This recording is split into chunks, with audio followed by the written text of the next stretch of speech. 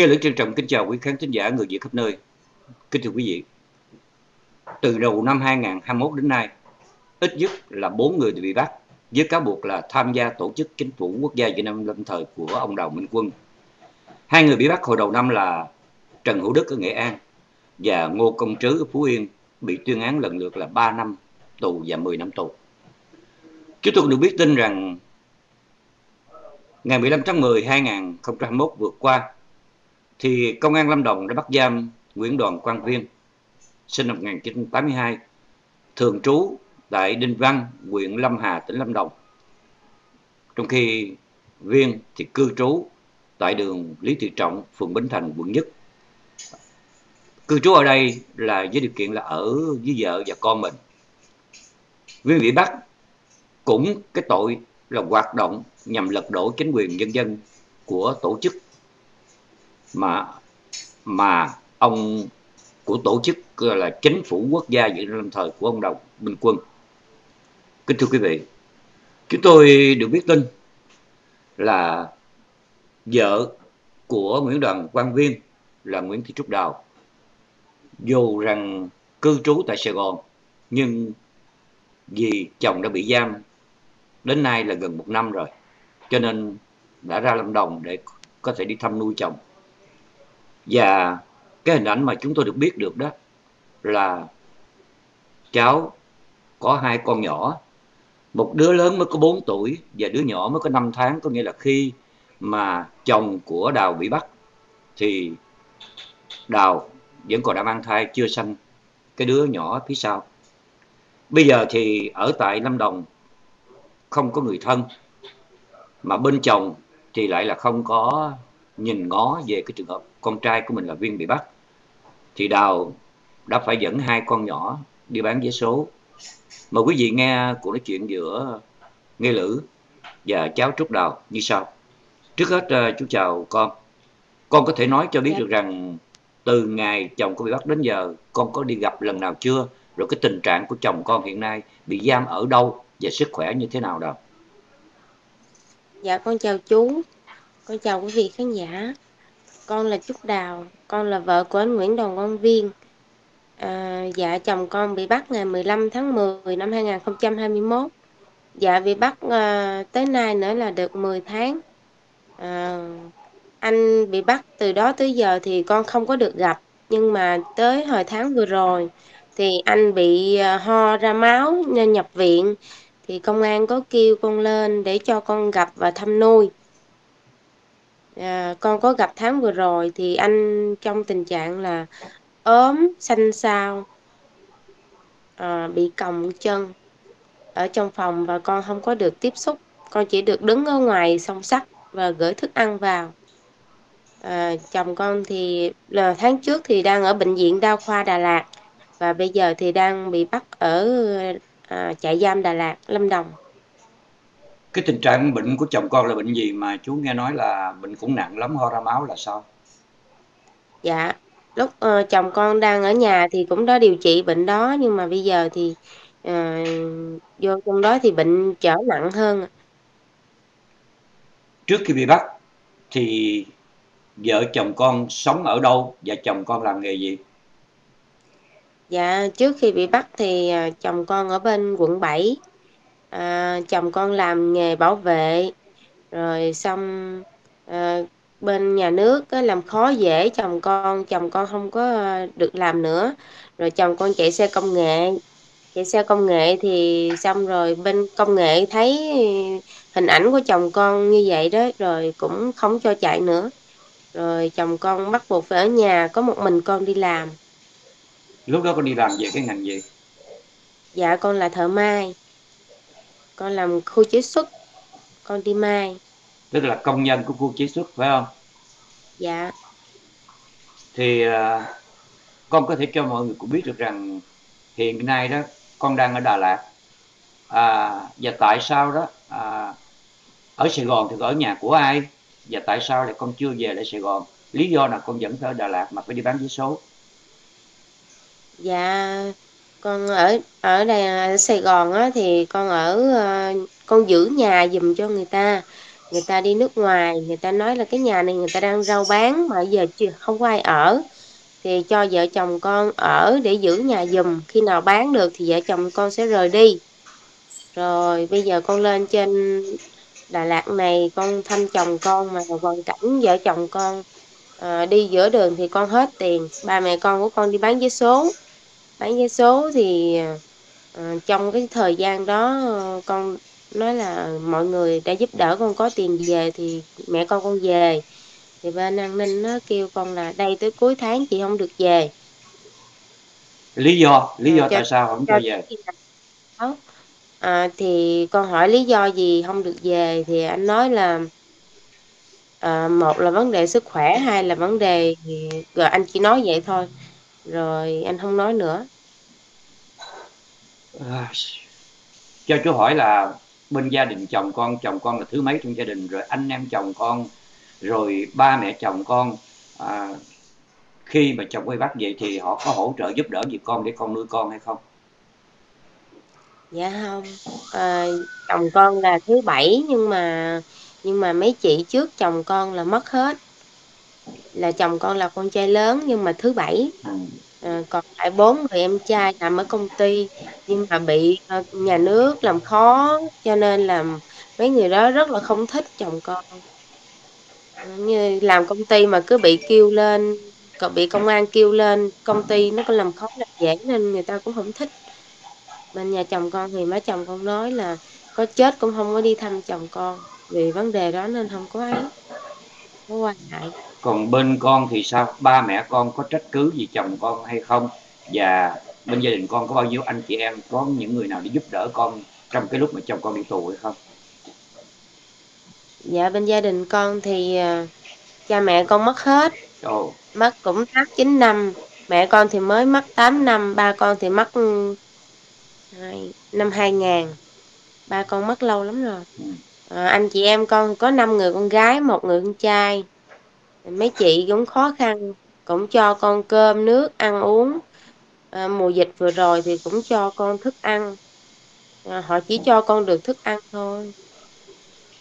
Hiện giờ thì con ở Đà Lạt đó thì con ở nhà ai? Rồi khi con dẫn hai đứa con con đi bán vé số như vậy đó thì có được người ta giúp đỡ hay thương hại vậy không? Rồi con ở gì thì ở làm sao? Rồi tiền bạc ở đâu mà con ở hay là trong khi bên chồng con lại không có chấp nhận à, chứa con trong khi mà gia đình chồng con thì ở Đà Lạt. À, dạ trước khi đi á, chị con có đưa cho con một chiếc nhẫn. Ấy là nói là khi nào mà rất là cần thiết á, thì mới được bán đi. Còn không á, thì cứ để đó. À, để khi nào mà nguy kịch á, thì mới lôi ra. À, con lấy cái đó con đi cầm. Rồi con mới lấy cái vốn ra con lo cho hai đứa con con đi bán vé số rồi giờ ngày ngày đi bán vé số dắt con của con theo. À, hôm vừa rồi cháu bị con gì cắn á không biết. Xong rồi chạy nọc mà con cũng không biết tới tối về nó sốt quá rồi. Cái sáng hôm sau con mới dắt đi bệnh viện người bác sĩ nói là bị con gì á cắn chạy nọc rồi đi xét nghiệm máu cho cháu rồi con mới đem cháu về thì mấy hôm nay là cháu bị bệnh con mới biết được chị Xuân Hồng. À, chị Xuân Hồng thì hay là chị Xuân Hồng cũng mới bị ra tù. Rồi chị mới nói là chị sẽ giúp đỡ cho các tù nhân uh, chính trị mà không có ai biết tới. Rồi con mới nhờ chị chị nói là uh, chị sẽ kêu gọi người ta ủng hộ mua vé số để giúp đỡ mẹ con của con. Con có những cái hình ảnh nào ai chụp cho mẹ con con đi bán vé số không? Dạ có. Có gì một lát con gửi cho chú nha. À, để dạ. chú uh, chứng minh rằng cái điều con nói là thật. À, cái thứ hai nữa là hiện giờ có Đà Lạt thì có ở nhà ai? Rồi cái chi phí ăn uống hàng ngày cái thì bao nhiêu? Rồi kể cái chi phí mướn nhà thì sao con? Sữa sùng của con của con nữa thì sao? Dạ con ở nhà trọ của cái cô cũng đồng cảm với con à, con lên. Lúc đó con bơ vơ con không biết kiếm nhà trọ ở đâu. Con hỏi cái cô chủ tiệm tạp hóa. Cô đó mới nói là thôi bà còn phòng trọ mà hai triệu rưỡi một tháng. Cô chỉ cho con thuê có một triệu rưỡi một tháng thôi. Uhm, ăn uống thì ở đây con đi lên mình không mà con không có cái gì để nấu nướng hết. Con cũng nhờ cô cho mượn bếp ga nhỏ rồi mẹ con nấu. Ờ, cái gì cần thiết thì cô cho mượn thêm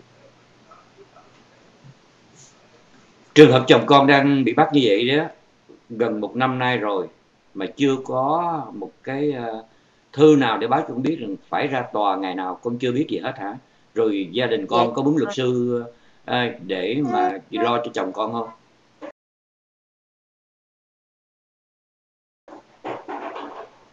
dạ lúc đầu mấy chị cũng có nói xong rồi con có tư vấn ông uh, ờ, chú luật sư miên miến miên hay miến miến ông miến miến gửi nhân miến dạ. Lúc đó con đang mang bầu bụng bự lắm con cũng có đi gặp à, chú luật sư đó nói với con là à, phí phí là 50 triệu. Wow. mà mỗi lần gặp á là 5 triệu. Mỗi lần chồng con mà mà mà có cái gì mà chú đi lên tới Đà Lạt rồi ở lại Đà Lạt để gặp được chồng con á là phí 5 triệu con không có khả năng cho nên con thôi con không có liên lạc với chú luật sư nữa. Mà chú luật sư nói á bây giờ dù cho con có tốn nhiều tiền đi chăng nữa thì mức án nhà nước đưa ra vẫn là như vậy. Chỉ là có luật sư chỉ là để cho chồng con được không bị à, à, ví dụ như là du khống hay là thêm tội hay là bị đánh đập thôi chứ mức án thì vẫn giữ nguyên đúng là cái hoàn cảnh của con thì không thể nào mà có thể có tiền để mà thuê huấn luật sư. À, tuy nhiên cái câu chú hỏi là khi con gặp chồng con đó lúc đó con bao nhiêu tuổi? Rồi hiện nay con bao nhiêu tuổi? Mà con có hai con như vậy thì khi chồng con bị đi tù vậy con có quán trách hay là con muốn bỏ luôn người chồng này không? À, dạ lúc ừ, con gặp chồng con là con hai mươi mấy tuổi bây giờ con sinh được hai đứa con con con 4 tuổi năm nay con được 36 tuổi dạ nếu mà anh đi tù thì con vẫn ở nhà con nuôi các con con không quán trách gì hết á Ờ, kính thưa với quý vị, à, thưa với lại à, cháu à, Trúc Đào. Con năm nay ba mấy tuổi mà con biết rằng đó dạ. những cái bản án gần đây đó rất là nặng nề. Có thể 9 10 năm, có thể hơn nữa dân dân. Thì con nghĩ rằng con đủ cái tấm lòng, cái sự thương yêu chồng con để con chờ đợi nếu chồng con bị kết án những cái án nặng nề như vậy hay không? Dạ có chứ. Tại vì cái tình thương của anh dành cho con thì bây giờ bây giờ cần nhất anh ở trong đó anh bệnh hoạn chỉ chờ mỗi mình con thôi chứ đâu còn chờ ai nữa đâu. Dân, chưa nói câu đó là bởi vì à, con cũng còn trẻ mà chồng bị kết án vào cái bản án mà họ quy kết đó là Dạ. có ý định có cái tội là hoạt động nhằm lật đổ chính quyền. Tội rất là nặng thành ra chú rất là sợ là cái thời gian rất là dài. Thì cái câu hỏi đó nó cũng hơi tế nhị nhưng mà chú cũng muốn mọi người nghe để hiểu được tấm lòng của những người phụ nữ ở trong nước hiện nay đó đau đớn như thế nào? Giống như Trịnh Bá Phương đó. Vợ của Trịnh Bá Phương mới có 23 tuổi thôi, mà hai đứa con. Rồi bây giờ cũng ôm con nuôi trong khi bản án của chồng mình tới 10 năm. Thành ra cho nên đó là cái điều rất là đau mà chú là một cái ông già, chú nhìn về quê hương chú rất là xót. Thì đó là những câu hỏi của chú.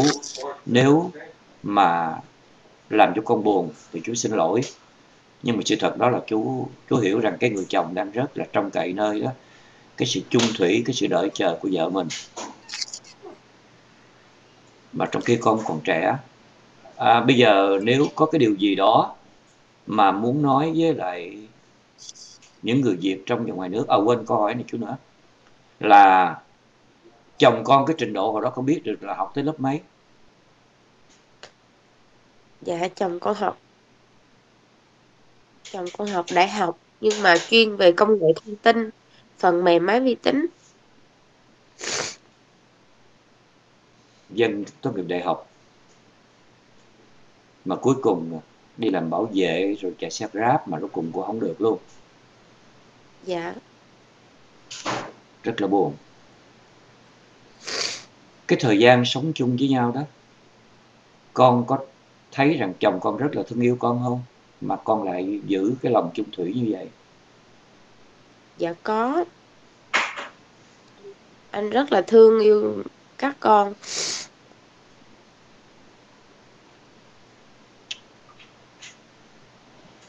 Nếu có điều gì đó nói với cộng đồng người Việt trong và ngoài nước trong hoàn cảnh của con hiện tại thì con mong mỏi điều gì trước đầu dạ con mong mỏi mà giúp đỡ mẹ con con vượt qua khó khăn để chờ đợi chồng con về. Có tiền để thăm nuôi chồng con. Để lo cho các con của con. À, con đạo gì vậy trước đầu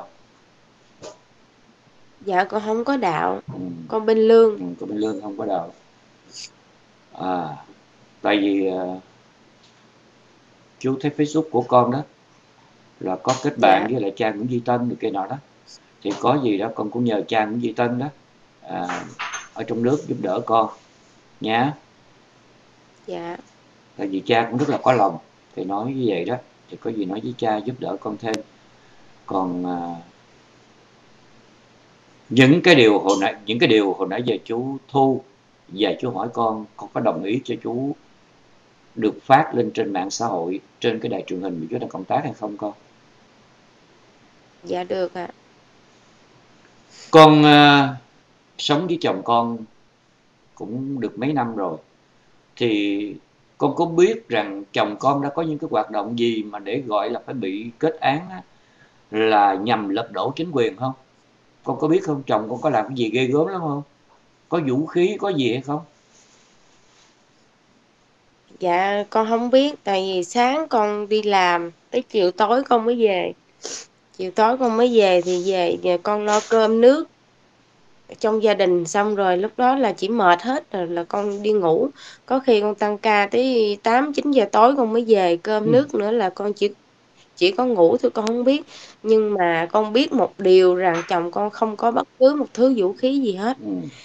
chồng con là một người chân yếu tay mềm như một thư sinh chói gà không chặt với cái tình trạng chồng con là đang bệnh rất là nặng đi không nổi mà bị nhà nước bắt đi. Đúng thưa quý vị à, rõ ràng rằng rất là tội nghiệp của những người ở trong nước. Nếu mà nếu mà chồng của Trúc Đào Nguyễn Đoàn Quang Viêm cũng là một trí thức tốt nghiệp đại học của khoa công nghệ thông tin, thì chắc chắn một điều rằng không phải là cái người võ biền hay là một cái người mà có những cái ý tưởng chắc chắn biết một điều rằng không bao giờ làm được cái điều gì mà gọi rằng lật đổ được chính quyền. Nhưng mà bị kết tội như vậy chỉ vì chắc có lẽ có tham dự vô cái tổ chức của ông Đồ Vĩnh Quân thì chắc chắn rằng làm trí thức với cái hiện tình đất nước với cái sự băng hoại đạo đức với những cái quan sai ở trong nước thì chắc chắn một người trí thức không thể ngồi yên thì à, con có thấy rằng chồng con có Facebook không? Rồi chồng con có những cái bài viết gì để mà lên án những cái bất công trong nước hay không? Dạ có. Đó. Đó đó là cái quyền được tự do và biểu lộ cái tinh thần yêu nước của mình chống những cái bất công quan sai để làm đất nước tốt hơn nhưng luôn luôn bị cái chính quyền cộng sản kết tội là làm ảnh hưởng đến an ninh quốc gia dân dân. Đau lòng quý vị. Thì uh, có cái điều câu cuối cùng chú muốn nói là con của con còn quá nhỏ. Một đứa mới 4 tuổi một đứa mới có 5 tháng thôi mà con ẩm nó vậy con đi bán vé số vậy thì nắng nôi rồi mưa gió rồi kia nọ. Con không có cách nào để gửi cho ai hay sao? Dạ ở đây quê người xứ lạ mẹ con con lên là ừ, chủ yếu là để đi thăm chồng nhưng mà hoàn cảnh tiền ít quá cho nên mẹ con con hết tiền. Thấy chồng mình ở trong đó gửi ít thì cũng tội nghiệp anh. Nên mẹ con con gửi vào thăm anh rồi mẹ con con ở ngoài tự xoay sở. Người lạ quá con không dám gửi em bé. Mà đi đâu thì ba mẹ con phải có nhau. Nếu mà con về lại Sài Gòn đó thì con định con sẽ làm Dạ. cái gì để sinh sống. Trong khi con đã bỏ lên Đà Lạt con đi thế này thì ở trong cái nhà máy nó còn chấp nhận con nữa. Rồi nếu con trở lại con vẫn tiếp tục để bán vé số thì hai đứa con của con á, có ai để giúp cho con để giữ cho nó hay không Dạ hông. Ờ, về công ty thì bây giờ bên khu công nghiệp nó đang, ờ, giảm biên ơ, giảm nhân sự á chú. Không có, như tụi con lúc có bầu, tụi con lúc có bầu là đang ngay mùa dịch Ừm. là công ty cho con nghỉ rồi. cho nên về thì cũng không có thể nào xin việc được hả Dạ, con chắc con xin việc khác, hoặc là con sẽ đi làm ở ngoài, tự con làm. Ừm. con có cái nghề may phải không Dạ. như vậy thì mình nhận đồ mình nhận đồ người ta về mình may gia công được không Dạ, con may gia công được, con có thể nhận sửa quần áo của khách hàng được. Ừm. thôi thì à, cảm ơn Trúc Đào chú à, cảm ơn con đã dành cho chú cuộc nói chuyện và chú cũng mong rằng những cái điều tốt đẹp nó sẽ dần dần đến với con nhé rồi Dạ. nếu mà chồng con phải ra tòa với bản bao nhiêu thì con có thể cho chú biết. Vậy chú Đào ha. Dạ, con chào chú. chào con